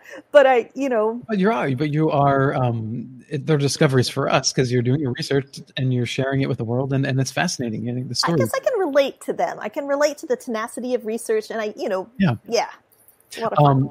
Um, I recall the story that uh, someone told me, who will not be named, um, when they were young in their, I think, like early twenties. Uh, they were camping, I think, camping or something like this, on, on some kind of trip, and uh, they had accidentally discovered that there was an ar- archaeological dig um, going on nearby. So you know, they kind of like peered through the trees. They could see the dig going on. Blah blah blah. Well, they you know they weren't like crazy drunk or anything, but they were drinking and they had you know like bottles of beer. At nighttime, uh, they snuck into this archaeological oh site, no. and um, the the archaeologist had recovered a skele- skeleton. You know, for the nighttime, right? They put the Ah. dirt back over it or whatever, so they can continue the next day. Well, they removed the dirt and they took a label off of the beer bottle, Oh my god. put it on the the head of the skull, the forehead, and oh then buried gosh. it back up again. And then they were quite surprised the next morning when they resumed their dig. Oh, that is hilariously mischievous. oh Yeah. my goodness gracious. Yeah. Well, have you have you come across any you know just uh, uncanny stories uh, that you just thought were just totally ridiculous? Oh, well, yeah, I mean, well, it's funny. Well, okay, well, we were talking about discoveries. I did make a discovery in my book. Um, I discovered the true identity of the mysterious rope walker of Corsicana. Really? Yes. Would you like me to tell you? yes, please do. I will share. All right. So back in 1883, in the town of Corsicana, Texas, which is world famous, wild, wildly known for its fruit cake, but uh, among other things, they do make a good fruit cake there. They got a great bakery. I'm not being paid to say that. Maybe I'm craving baked goods, but in their Hebrew cemetery, there is a grave, and it just says Rope Walker, 1884. That's it. Well, what happened when I was doing some research, I was trying to like I like to do my own research. So, you know, there's there's modern newspaper articles and things about this guy, but I wanted to go back to, you know, in the day and find some actual timely information. I couldn't find anything in 1884. So, eventually I just looked for a rope walker and a one-legged tightrope walker, and I found a guy who had come through Corsicana in 1883. And he what he had done was he was selling wood stoves and to um, attract attention, he t- he tied a rope between like 20 foot high off the ground between two buildings. He strapped a wood stove to his back, climbed up, and then like he's one legged. He had a little peg leg with a notch in it, and he was walking across the tightrope, and it drew quite a crowd. So this was his little scheme. Okay, then I'll sell you wood stoves. But one of the things he tied his tightrope to broke, and he went tumbling to the ground and it the the stove landed on his good leg. So they had to amputate it. And uh, now what everyone has said is like well before he died he told them he was jewish so they got a jewish shopkeeper to come and recite prayers with him and then he died. But um, I found that he had a name, a stage name, Professor Dahoon. It was spelled like a bunch of different ways because you come across that a lot. If something's not written down, there's a lot of misspellings. And um, I still didn't have a name, but um, so you know, up until now, everyone's just thought, oh well, we'll never know who he is. Well, I just kind of shortly before the book was really going to come out, I just kept looking and looking, and I, I kept searching from different angles, and suddenly I, discovered that there was another one-legged to- tightrope walker out there named Joseph Berg, and I'm thinking, how many can there be? So I find an article from 1869 where he had had another tightrope uh, accident where his eye ball popped out and both wrists were crushed. I mean, this guy had been through a lot. And he was in the hospital. I have a bunch of fun quotes where the people he apparently um, was telling them all about his life story. Well, he said his stage name was Professor Dahoon. So I, I connected them together, and I now know that the mysterious rope walker of Corsicana is actually a man named Joseph Berg. There, I just sort of condensed a lot of little. The rope, the rope walker. Uh, what what is- what what is he famous for? Why why do people know so know about him? Well, because it's been an enduring local mystery. So in the Corsicana, it's just no one. And what to me is still I'm curious about is because the headstone says 1884. Well, his fatal incident, you know, where he lost his other leg, was 1883 from the newspaper articles that I found sprinkled all around. Um, so he had been a, a, professional gymnast in Europe. He came to America. Um, he lost his leg fighting for the Union, um, and then he, you know, couldn't do his gymnastics anymore. But he created this tightrope routine for himself and traveled around selling wood stoves, apparently. And um, you know, he died without ID. Now that's kind of a a recurring theme throughout my book is what happens when people die without identification. You know, different things can happen. In his case, you know, they just buried him and they hoped someone would find him. Um, in other cases, I have a couple um, incidents, you know, and, and when I give talks, I've gotten so used to this because I come across it so much. Like a hundred years ago, I'm used to what people would do. So I'll be talking, giving a talk, and I'll mention that okay, this person died, and so they they they put his body in a chair in the furniture store for a week to see if anybody would identify him. And like the audience would be like, oh, and I'm like, oh yeah, that's right. I'm kind of used to that's what they did before people had ID. They would be like, well, let's just sit him in a chair and hope somebody goes by and goes, hey, there's Paul or whatever, you know, which is just so macabre and creepy. And it was usually the furniture store because those would um, before coffins were mass produced, they might make them there. They were usually the, doubled as a morgues. So it's just one of those weird, creepy things that, like, I love how much things have changed in like 120 years. That you know, that just sounds really creepy. We would never do that now, but everyone has ID, or there's some you put them in a database or whatever. So. Mm-hmm. Uh, Tui, we got some comments that it was a little dark and people would like to see you more. I don't, oh, know, if okay. can, if we can do Let that. Okay, hang on. Um, sure, it's but getting in, darker. In the meantime, if you want to call in uh, later and ask Tui uh, your questions, you can call 855 472 5483. That's the Paranormal Radio app line, or 85 KGRA Live. Uh, just call in. Bill Skywatcher, our producer, will receive your call. Stand by. He'll cue you, um, and I'll bring you on the air. And I'd actually really like to hear your own stories. Um, so if anybody out there has a graveyard story or a close encounter with a spirit, ghost, um, or entity, I would really like to hear uh, what it was like for you. I have found that when I hear your story, when I listen, uh, when I'm listening to other shows and listening to guests, uh, it's more tangible, and you get a better sense of what the experience was like, rather than if it's written or a message. So again, if you want to call in and ask Tui your question or share your story, 855-472-5483. Uh, so Tui, how are we doing? Well, did that help at all? I think tried a little a bit. little bit, a little bit, but that's all right. We're I knew it was going to get dark while we were on, and I guess I didn't quite real. Now the cat's going crazy because as they do this time of night. well, I Oh, did well. see your cat in the background earlier. Did you? Yes. Yeah. She's, she's up now and running all saw, I around. saw white paws. I didn't see him. Oh, Yeah. yeah. Um, your cat does have white paws, right? Or was I seeing Yeah, something? she- oh, yeah, okay. maybe it's a ghost cat. Woo! no, she does have white paws. She's a little tabby.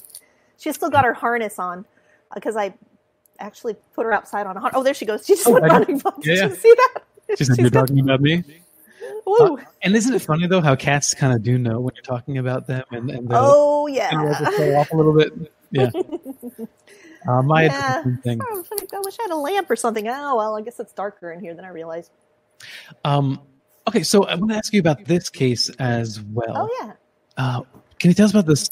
Yeah, go ahead. Sure. Um, yeah, that is the last uh, scraped graveyard that I'm aware of here in Texas. And And what is so- a a, scraped graveyard?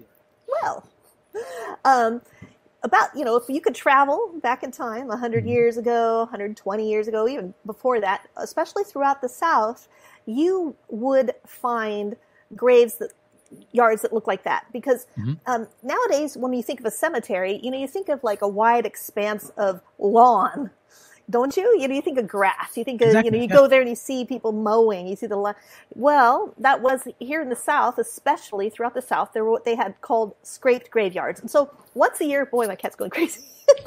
She's just going bonkers. Oh well once a year people would uh would have decoration day. And this was usually in springtime because that's when everyone has flowers going growing. And you didn't have florists so you wanted to come and decorate everybody's graves.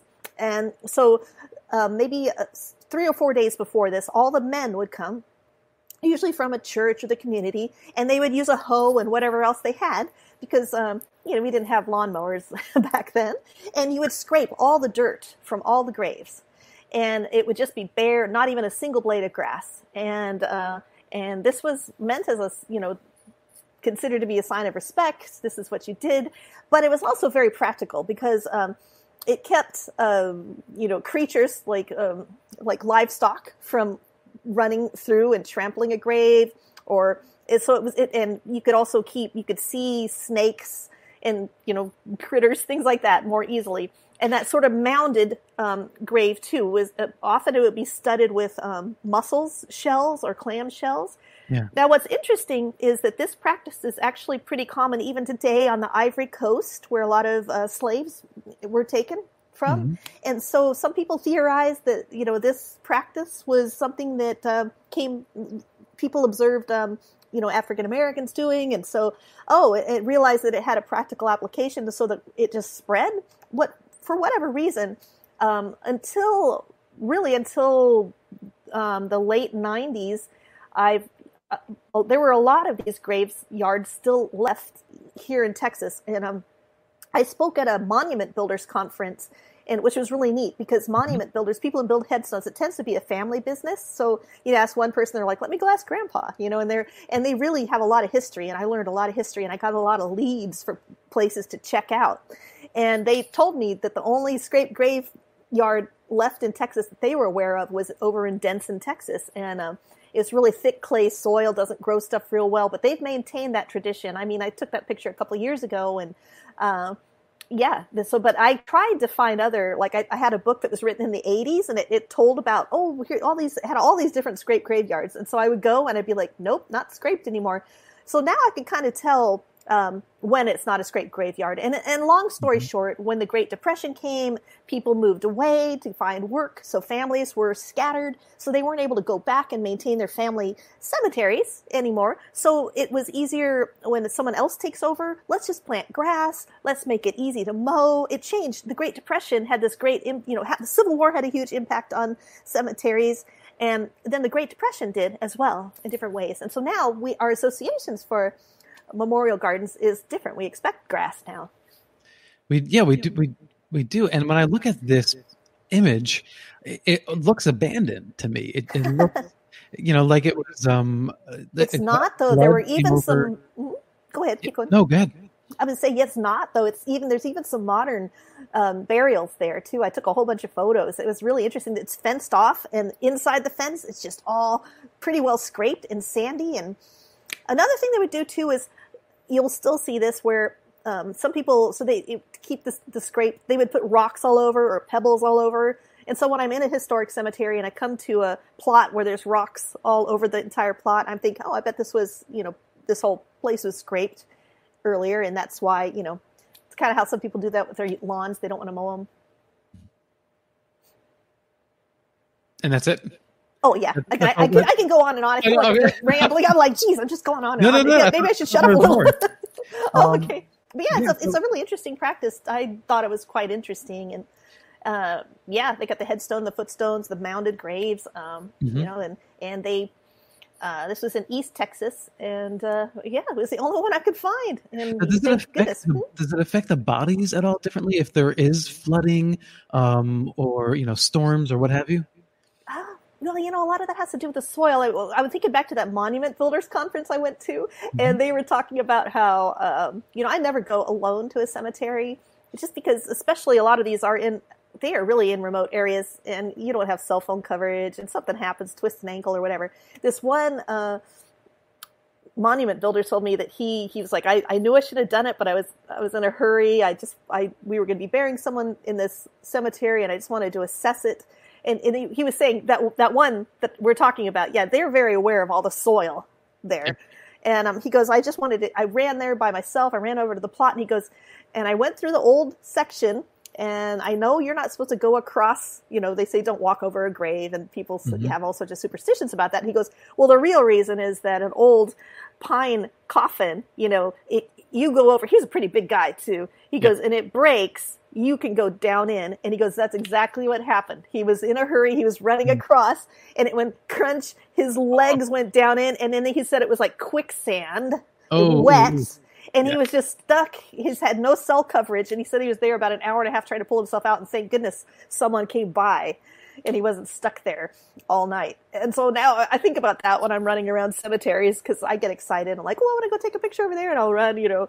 Um, but yeah, Yeah. Um, there is a statue um, of Jesus on a grave that is wearing cowboy boots. Can you please explain that one to us? Oh, yeah. I love this. Okay, over in Paris, Texas, which is a really fun town anyway. I really love Paris, Texas. They have a cemetery, Evergreen Cemetery. Huge, beautiful, historic cemetery. And there was a guy there named, he's buried there. He's got like a 21 foot monument. And a pretty common Victorian Victorian era theme for statuary is to show a uh, usually it's kind of a woman clinging to a cross and that is um, a reference to the hymn "Rock of Ages," uh, which Def Leppard made a song about later. but "Rock of Ages," so they have a, a line in there: "To Thy cross I cling," and so um, a lot of uh, funerary artwork shows that. Hi, Willet Babcock. He was known around town as being this big, jolly guy. He um, he had a furniture store, which was also a morgue because that's what you did back then Sure.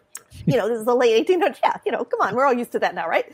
And um, he um, he made the first opera house in Paris, Texas, and he was really into theater. And people compared him to Falstaff. They said he was just big and jolly, always had a joke. I mean, when I was reading old newspaper accounts, he was easy to track down because he he left a lot of memories in people's minds. So uh, he commissioned this monument, and what it is is it's it's kind of a Jesus, you know, clinging to a cross and his footwear, he's distinctively got cowboy boots on. And people have theorized what this means. I really think it just shows Willet Babcock's great sense of humor. Um, and also, you know, it just a reminder that back then, if you had a chunk of change, you came across a bit of money, you thought, "Oh, I want to plan my my monument." You know, nowadays we get a chunk of change, we think, "I think I'll take a trip to Hawaii," you know, and we kind of leave the Yeah, yeah. headstone planning up to our family. Like most of the time, people I know, they plan. They're not not as I know some people do plan their own headstones and epitaphs and everything, but a lot of times it is left up to their kinfolk, and it's just a difference. You know, back then he, he commissioned that from the local um, monument company, like you know, twelve years or so before he died, or something like that. So.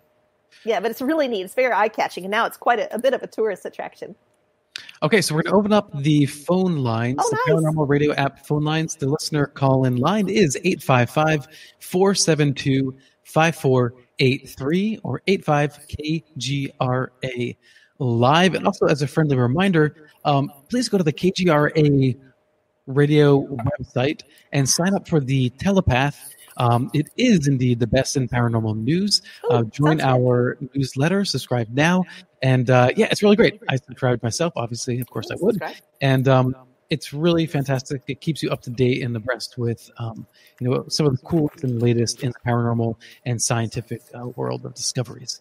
So I'm going to take the first call There here now, and we're going to welcome Ron. How are you? Hey, Alan, how you doing? Hello, Tui.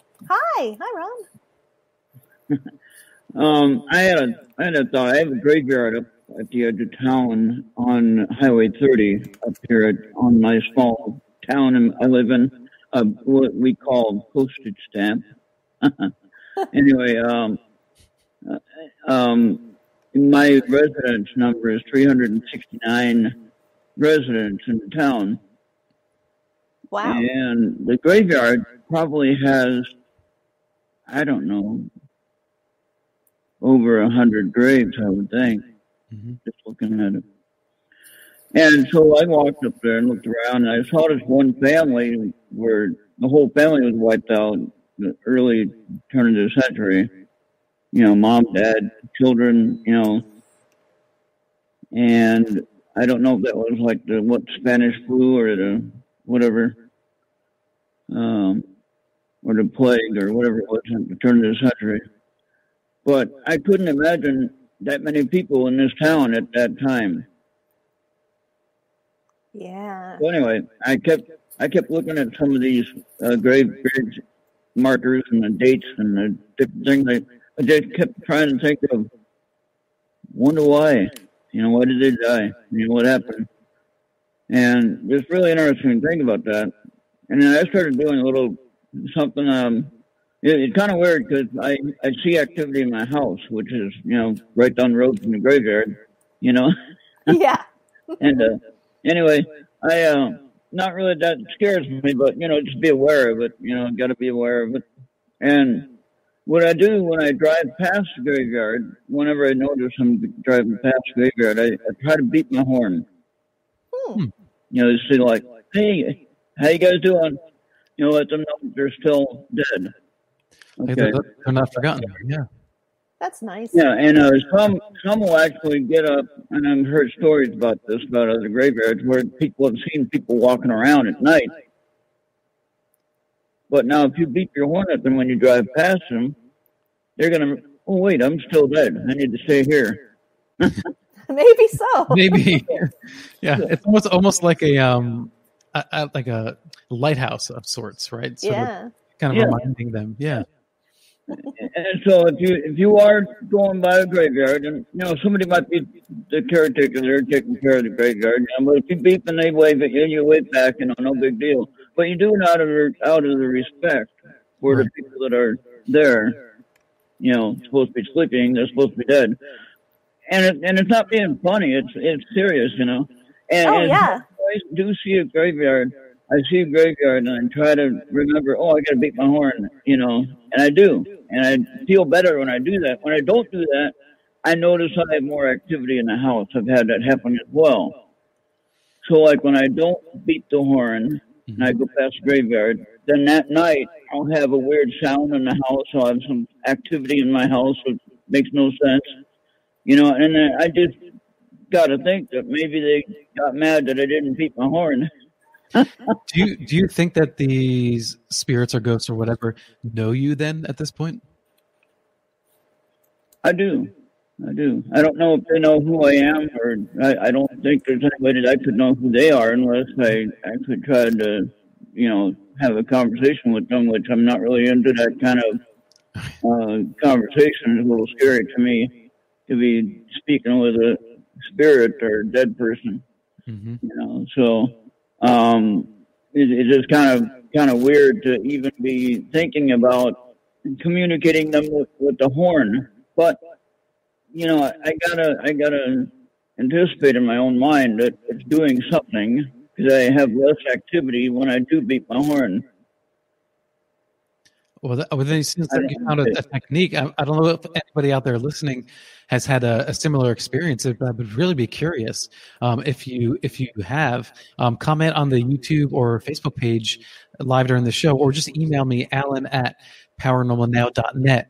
Um, and if we get some of those uh, similar techniques or, or stories, um, we'll share them on the air. Thanks, Ron, so much for calling. Do you have Yeah, any other questions for Tui? Thank you very much. Alan. Um, Thanks for listening. How how has your experience affected your view of history as you research some of your historical graveyards? There, Well, you know, it's really given me a lot of respect uh, for what it would be like to live back then. Like, I, it really puts to me. I think when I do historical research uh, in his these historic cemeteries, it brings history to life to me in a way that nothing else does. I mean, I feel much more connected to history if I'm standing right there and I'm looking at the grave of someone. I go home and look up information about them and I think of all they went through, it, it really helps me gain more empathy for them in their time period. So I have a lot more, I think, a lot more empathy for what people have felt in different a- ages. Um, because it's easy when you learn history, you just learn facts. This happened, that happened, this happened, that happened. But when you look into their whole story around uh, this person, and that's why I wrote the book, was to kind of show you all, to try and like make you think about all the different things they factored into their life. It wasn't so cut and dry. It wasn't like, oh, I'm going to join the Union, I'm going to join the Confederacy, or you know, just different things like that. Just or what they went through, the choices they had that, or didn't have, and just. I feel very lucky to live in this time period, but uh, yeah. Anyway, thanks for calling. All right. Thanks so much for calling, Ron. Thank you very much. Great show, Alan, and, and thank you for being here tonight, Lee. Yeah, Have a thanks. good night. All I. Good think night, that's Ron. neat that he's very respectful. You know, I think in a way it doesn't matter if you honk the horn. I think it's the fact that he has respectful intentions when he honks a horn. I can imagine Mm, right. somebody else going by and honking the horn to be a jerk. You know what I'm saying? Like, ha ha, ha you're dead. I'm not. You know what I mean? And Yep. it, that might accelerate things for them. But I think the fact that when Ron honks the horn, he's also feeling, you know, hey, I remember you, or I, I acknowledge you, or uh, it's sort of respectful. That was my take. Right. Okay. So the phone, phone lines are still open if you want to call Oh, in. The number is 85 KGRA Live, 855 472 5483. And it reminded me, Tui, um, I do this, I do this thing um, when I'm driving, particularly on roads at night. Um, and if it's wooded, I will sort of like put my hand out and try to send out a message to any deer or animal to just please don't jump in front of the car. Yeah. Oh, that's Yeah. good. Uh-huh. And um, knock on wood, uh, that is still it has been effective Yeah. uh, because in, in areas where uh, I have family and I, I will drive, um, it's quite common to, to hit Oh, a yeah. deer or to have a close call. Um, Oh, yeah, definitely. yeah, have and your totally, deer goggles totally- on. Go ahead. It's totally off subject, but um, do you, you know, you're a cat person as well. do you have um, any belief that that we can communicate psychically with with animals? Yes. You do. Oh, totally. Not just animals, but Mhm. with na- nature spirits, trees, uh, elements, water, air, wind.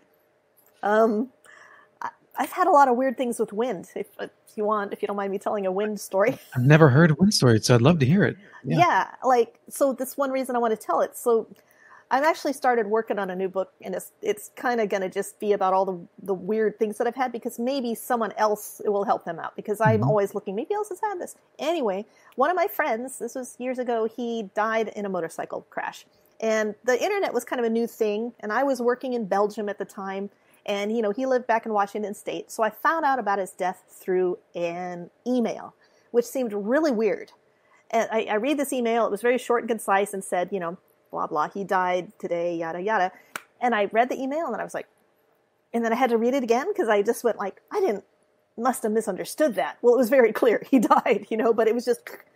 So um, I, I I was working um, in a multimedia company and it was a cubicle job, and uh, other people would take smoke breaks, but I would take goat breaks. I would just say, I'm going to take a goat break. And everyone thought I was going out to smoke, Yeah. but I was actually going out to pet the goats because I thought it's not fair. I don't smoke. I should have breaks too. Yeah. So, so I was like, wow, totally need a goat break. So I went out and I'm, I'm there was this little, we worked in a, this building, but right next to the building was a little hotel that had this fenced in thing with the goat and the dog and the goat and I just loved each other. And I would, cause I would bring him like lots of nice, good grass. Mhm. And, so, I'm there, and I'm just, trying to wrap my head around my friend's death.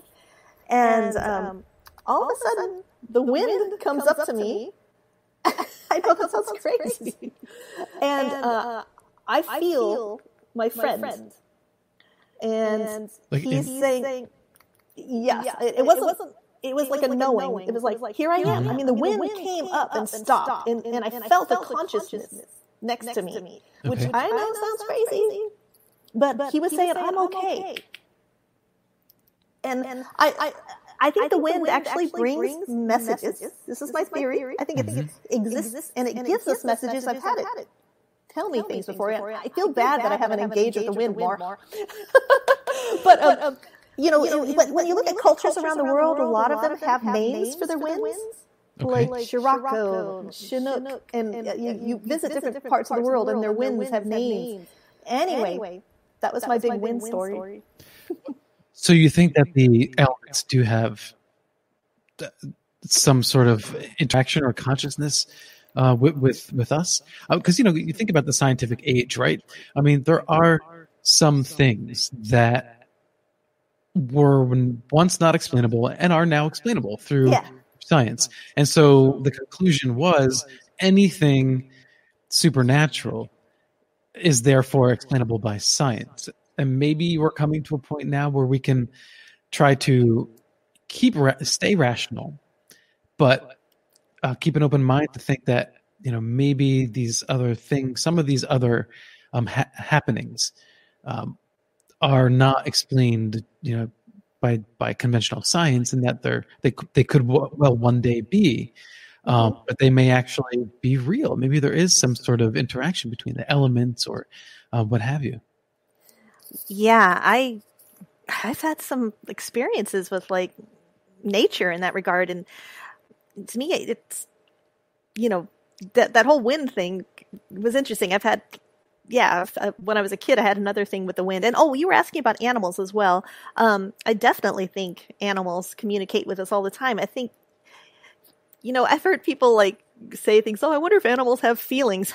like, give me a break. Have you ever seen how guilty a dog can look? I mean, how the Oh, the real question is, you know, when are we going to have enough feelings to understand that? I think animals have more feelings. They're more heart centered and really kind of like we are when we're little. Like one of the, I'm very lucky. I, I have a lot of memories from childhood, and one memory I have is just how strong your heart energy is at that age and how you know you get your feelings hurt so badly because when you're a little kid you're just bursting with all this heart energy and um you know we have to kind of learn to insulate ourselves as we grow up or we're just so thin skinned but um yeah so um, I kind of forgot where I was going. Oh, but I definitely feel that animals communicate with us. I one time my this is going to sound a little weird, but my cat that I had before this one, um, she was acting, she was meowing and obviously in distress. She was really uh, fuzzy. She was big, fluffy, little actually, little fluffy black cat.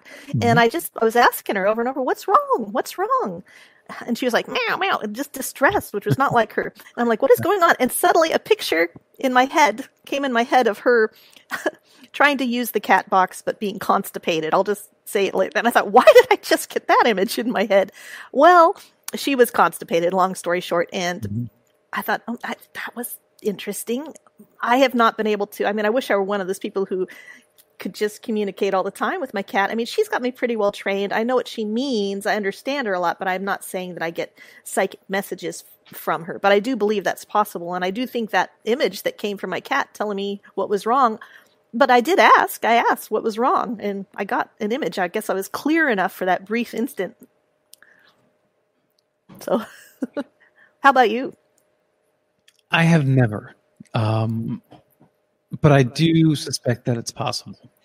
Um, I have seen some videos of you know Oh, animal yeah. communicators Mhm. that are really just inexplicable, like, like what they can do. Yeah. Um, they would because you could see the the healing of a relationship in real time.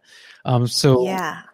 you know, I, I don't know if you can be a charlatan and and pull that off, but um, if you are supposedly are as a cat, a cat or animal communicator are brought onto a site, um, and then you say this is the problem, um, cat or uh, big cat or animal, whatever it is. Yeah, I've seen some big cat ones that were amazing. Maybe we saw some of the same ones where the cat. I mean, I was like, w- there was no reason for the cat to behave that way and come over to this person when, yeah, When it's other, otherwise withdrawn or aggressive, yeah, and there's an energy they're picking up there. Um, but then they, you know, will say, like we see with human psychics, right?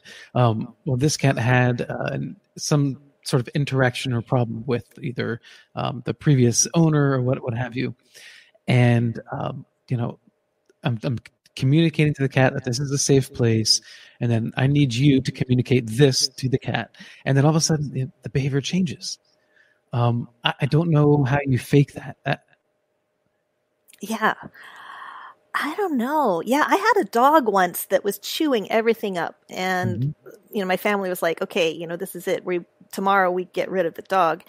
Um, and you know, I talked to the dog and was like, "Hey, you're going to be sent away," and she changed. And never the next day, she hadn't done her usual stuff, shredding. And they're like, "Well, she's got a reprieve for a day," and it went on and on, and we kept her and she never did it again. So I don't know. I mean, coincidence? I mean, uh, she might have just, might not have been me talking to her. Maybe she just picked up on the feeling that, oh, they're going to get rid of me. I don't know what it was, but it, it was interesting.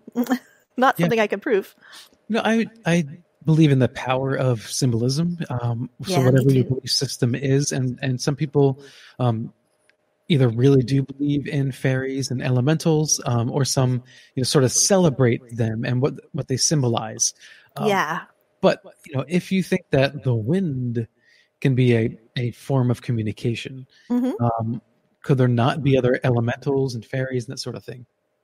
Um, yeah, I have had some experience with like a water sprite, and I have had, uh, I had a, I might as well just say it here. I had a tree talk to me once, which was kind of amazing. I was on a meditation retreat. I'll just tell you this one because I hope I can remember what it said. I, I've been wanting to go through my diary and find exactly what it said to me, but I was at this meditation retreat. We were doing all these lengthy meditations. I mean, to the point Mhm. where, I mean, I felt high. I went, when I was in the bathroom at one point, I looked at my eyes and my pupils were huge and we were all just really in this expansive state. And so, okay, I'll, I see we're getting close, top, top of the hour here, but I'll make it quick. So we did this one big thing and, and the lead, lady who was running it, and I was feeling very skeptical, like, okay, so my pupils are big, big deal, you know, maybe nothing's going to happen. She goes, I want you to go out in nature for 20 minutes and, you know, and then come back. And so I went out and I climbed a cedar tree. Now I, I've always been, been a big tree climber ever since I was a little kid. I love climbing trees. Climbed way up in this cedar tree and I was I was watching all these creatures on the tree, like a a, a moth and a you know a, all sorts of creatures were you know bird and uh, ants, caterpillar, and I just said um something to this tree. I said, "Hey tree, you know what what do you um you've sure got a lot of life on you," and in response, I said, "Oh wow, why is that?" or something. I can't remember my exact question, but it was along those lines. I but I did address the tree out loud all of a sudden I was enveloped in this very paternal love. It was like this great big love, like, I love you, little creature, like I'm a little creature. And it said, well, when you live up to your true potential, you provide shelter for all sorts of life, something like that. And I was just like, whoa, that's true. and that came to me from a cedar tree. But, you know, and I didn't hear it out loud, but it came through my head. It was one of the neatest things that I've experienced in my life. But I don't tell people this stuff because and I've kept it all in, but I'm putting this all in a book because maybe it'll help someone else. But I have kept all this to myself, and I now I feel like I need to come out of the psychic closet. So I'm uh, here. I'm starting it on your show, Right. or not psychic, but the whatever, the weirdness closet. No, that's, that's absolutely fascinating. Um, and I think there's definitely something to it. Do you think it could be your own mind sort of utilizing nature as a tool uh, to communicate with itself, with you, like the subconscious working through, um, you know, energy at the atomic Sure. And yeah, Yeah, I don't claim to really know what anything is. That's, I guess, the the reason I just feel it coming out because I thought by now I would have figured out what it is. Like when I was younger, I thought I would, I thought I would figure things out, and I, I haven't figured anything out. So I'm just like, other than who Rope Walker is, hey, one out of a million things in my life. But yeah, woohoo! I figured something out. but beyond that. I haven't figured anything out, but I just want other people to know that they're not alone if they have these experiences, and um, and that you know sometimes uh, also when I go on ghost hunts, a lot of times I hear people talking about elementals as if they're bad. In nature, to me, my experience with nature is always like the most loving, wise. It doesn't feel like it comes from me. I mean, it's way more wise than me. um, and but the feeling of love is always very nice, and it just uh, makes you want to care for our planet more. yeah, absolutely. Tui, thank you so much Yeah, for coming you. on again. I, I love chatting with you. Oh, it's so fun. I was having a great time hanging out with you.